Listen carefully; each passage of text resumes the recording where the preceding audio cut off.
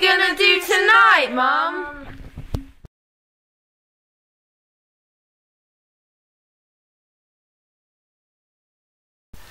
When my kids were growing up in the 70s and 80s and even in the 90s, it was sufficient for them to have a football, pair of rollerblades, hockey stick with the rollerblades, uh, maybe a skipping rope or those elastics that they used to play, and that was their equipment and they were off for the night. Nowadays, parents are not so keen to let the kids play out on the streets or in the parks, and so they require far more in the way of equipment to help them while the hours away. So we're going to have a look at some of the different activities that are on offer for our kids. Well, we'll have uh, swimming lessons from 4 o'clock to 7. Right. And then free play for children from 7 till 8. Right. And then adults from 8 to quarter 9. Right. And then after that, adults. Right. So for the children, you have actual proper swimming lessons with a qualified swimming instructor Yes. from four o'clock till seven. Till 7, every half, uh, uh, lesson every half hour. Every half an hour. And that, that and what age ranges is that from, From four and a half. Well, we'll start off with the children in armbands. Right. and then work our way through and then we get the armbands off and then we'll go on to we'll progress on the strokes and then we'll go to the awards Right. starting five metres up till I mean there's some boys have done their uh, bronze silver and gold Wow. This is Fit City Broughton, one of the venues that the community's youth use for their extra out of school activities. We're going to go inside and see exactly what's on offer for them. Hi Richard, thanks for allowing us to have a look around uh, Fit City Broughton. That's no problem. Okay, off we go. Okay, right. Right. Quite large. Got a football nets in there. Okay. Just any other things that they wanted to use at the time as well, they'd be able to use those. Uh, badminton courts, anything like that. That's great. Um, depending on numbers as well. Okay. Basically, this opens out into like the boxing gym, the actual fitness suite that we've got as well, um, and well, obviously, as you can see from the side at the end as well, we've got that. So there we go. So this is now going into the climbing wall. So, see, quite a large climbing wall, different levels of um, obviously the, the angle, the steepness, uh, different faces as well that we can climb up. Um, there's nowhere else in Salford has got one of these. Before I have the, the kids, you know, different exercises going on in the ring. I'm off now to see what's going on at another youth club. We're now at a school which, is part of its extended schools programme, provides after school activities for the pupils of the school. In this hall, which is the assembly hall of the school, various activities take place, including trampolining and various health and sport activities for the pupils. Can you tell me what activities do you offer for the 11 to 17 year olds and about how many people come to your classes? Right, we have a number of patisserie classes each week. Um, about between 10 and 12 girls to a class. We don't like them bigger because then the teachers feel that they can't give enough attention to each one. And then we have health management and gymnastics, which also proves popular. They have about 15 girls to a group. We're also looking, we did used to have trampolining, but due to health and safety um, regulations that have come in recently, we've had to stop that because there's some equipment that we have to buy, which is £1,500. So we're just putting in a bid for a grant. Hopefully we'll get that and then we can start our trampolining again. And that's a popular Yeah, um, the girls have asked for that.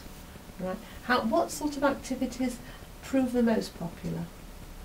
The patisserie in the younger classes Oh yes, and then it changes to gymnastics and health management as they get older. I see. And how do you see your organisation expanding? Um, do you think you could grow this? I would th- I think so. It's often peer pressure, and uh, if some girls enjoy it, they'll tell their friends to come along. We do put out surveys regularly, um, seeing what types of activities the girls would like, and then we'll work on that and hopefully Oh, provide okay. it for them. One of the things that we find is the girls have been at school all day, and therefore, when it comes to an activity that takes place in school, they're not so interested.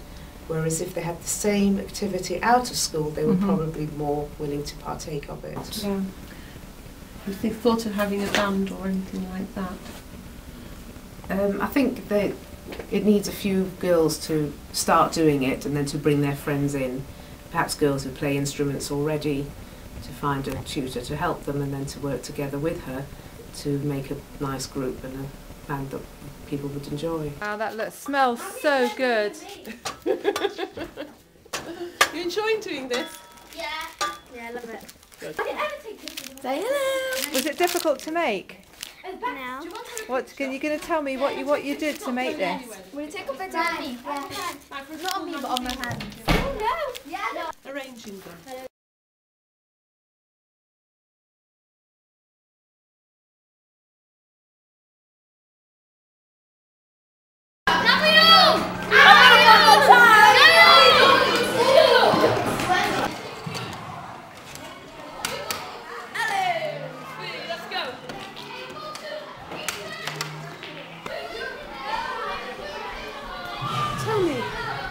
To this youth club? Yeah. And uh, what do you do when you get there? I bring my Xboxes, family, and sometimes.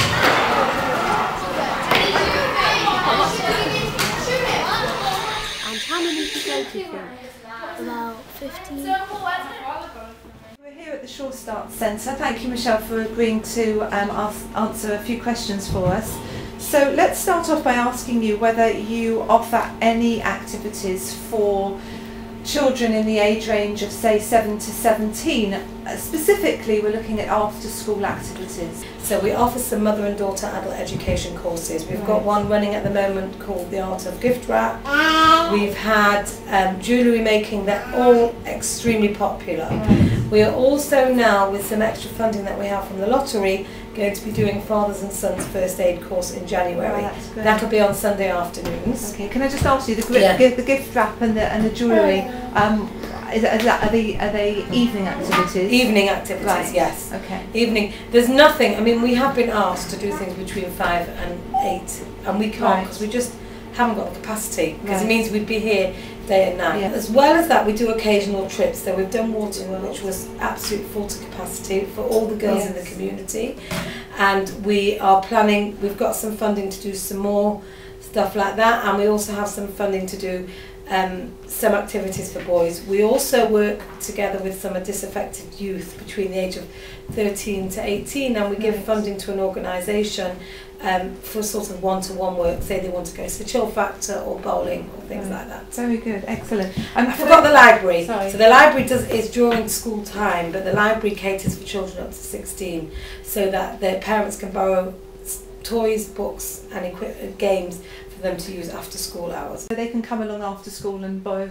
Yeah, Yeah. yeah, yes, yes. Okay. yeah. Um, um, just regarding the um, the after school activities in particular, um, how well are they attended? The jewellery. and the- Everything is oversubscribed. Really. We advertise it once and we will have 100 people trying to get for 30 You places. think you- you've got everything you need?